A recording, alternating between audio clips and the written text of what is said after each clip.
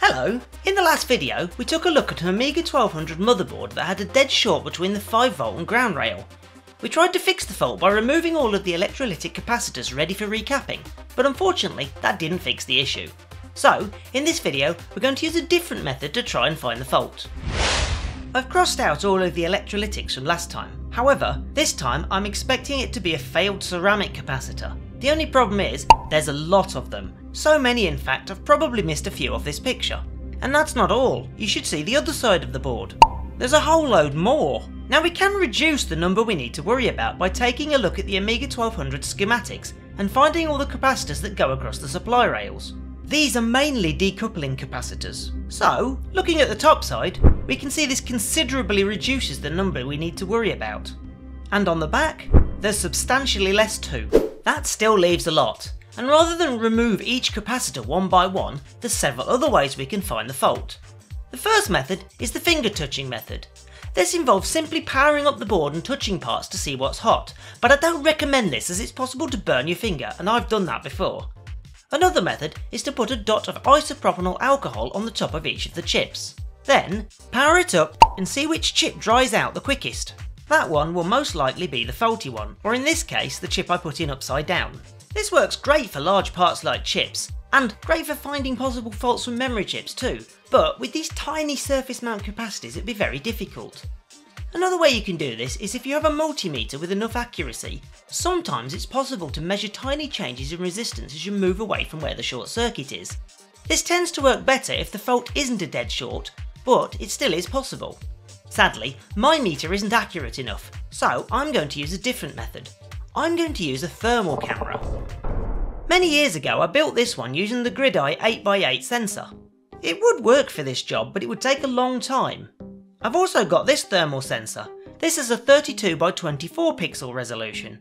A lot better, but I haven't gotten around to setting it up yet. So instead, I'm going to use this beast. This is a professional thermal camera, and it has a much higher resolution.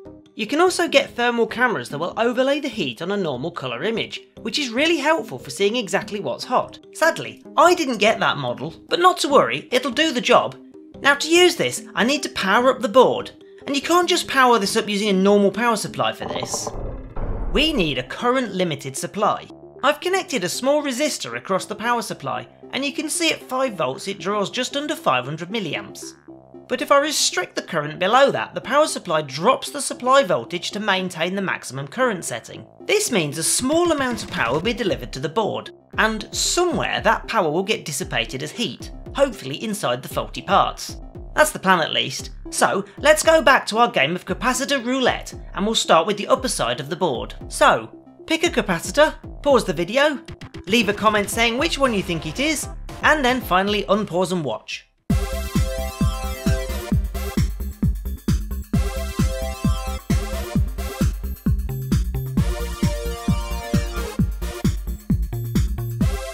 So first I'm going to connect our little short circuit detector, and I'm going to switch to the thermal camera and turn on the power.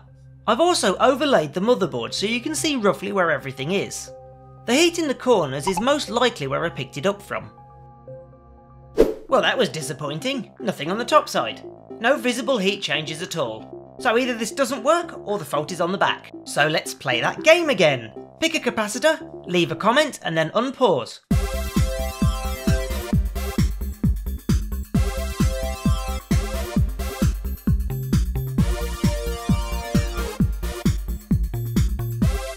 And we'll start by flipping over the board.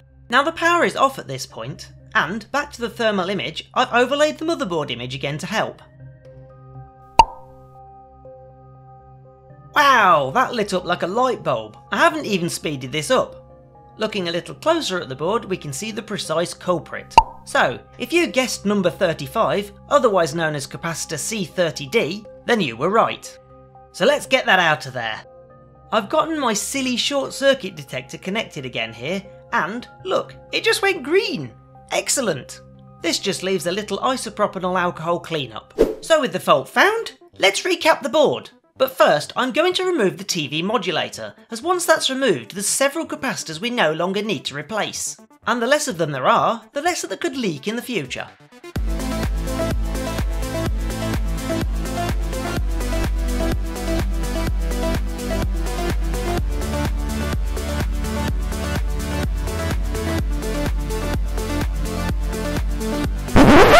I've paused the recap here because this is a very interesting and important part.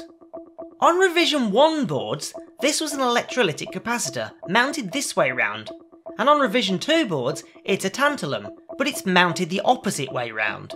You need to be very careful here, don't just look at a random picture on the internet to check the orientation. You need to get this correct for the revision of your motherboard.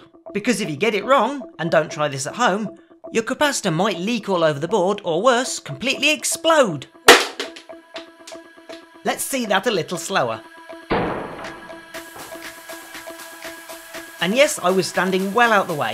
If you're not sure which way round to put it, then you can use a multimeter to see which pin is connected to ground.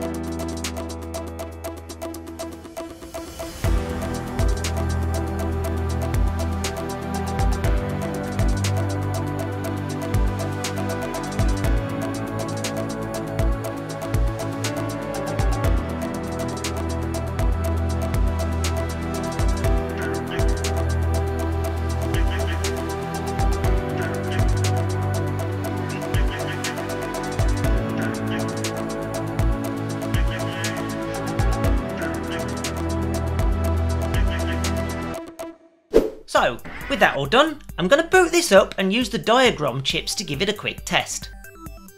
Wow, this sure does some funky things while it loads. Diagrom is great for fixing faults, as it will almost always boot in one form or another. You can even connect to it via serial port if the display isn't working. So, let's work our way through the tests. I've speeded this up a little too. Audio tests, now these are fun. Well, the LED filter works.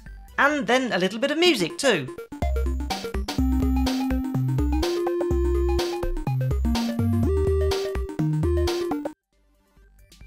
I'm not sure what this test is doing, it doesn't seem to be doing anything at all. Maybe I'm just impatient. But to be sure, later I've run this through the Amiga Test Kit RAM tester. Seems like it all works okay. So, I'm going to swap out the Diagroms with some Kickstart 3.2 ROMs.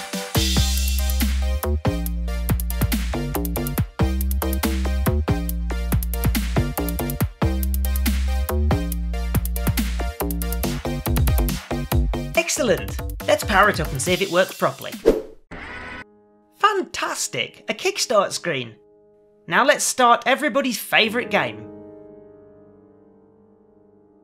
And it boots!